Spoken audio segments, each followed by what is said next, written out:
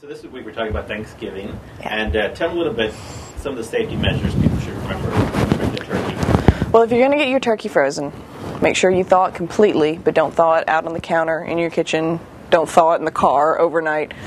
Thaw it in the refrigerator, bottom shelf, with some sort of pan or um, bowl or something beneath it, so you don't get turkey juices everywhere.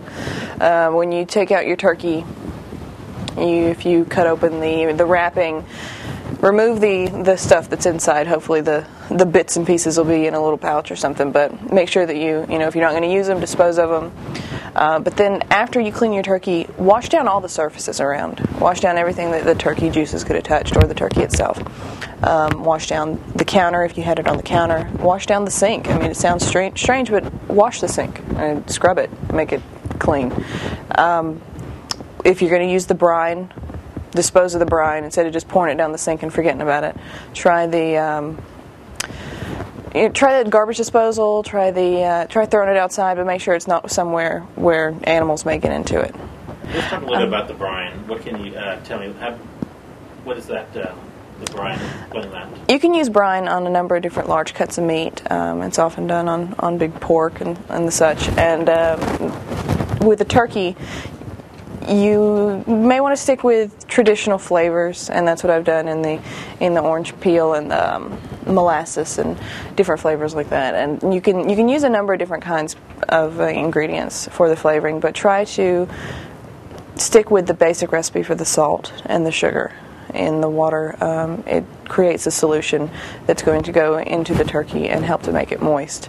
And it's a you get down to science when you're when you're talking about the exchange of um, of the moisture content with the with the salt, and it uh, it'll really make your turkey a lot more moist when you when you end up with with your final product. It's nice.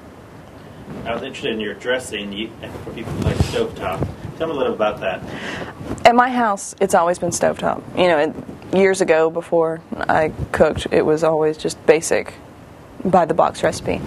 But I've, I've spiced it up a little bit using sausage and apples and sage. Um, if you can, if you can find fresh sage, use it.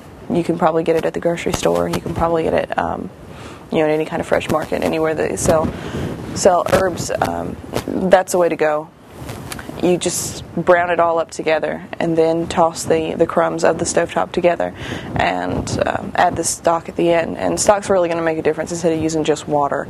Use um, either turkey stock or chicken stock. It's going to make it. It's going to give it a lot more flavor. And then I I roast or I bake it in um, a casserole dish to give it that crunchy top. That's part of the bit that I like. We can't forget the gravy. I didn't forget the gravy. um, this gravy is made with with either chicken stock or turkey stock, and use the, the drippings from your uh, from your turkey.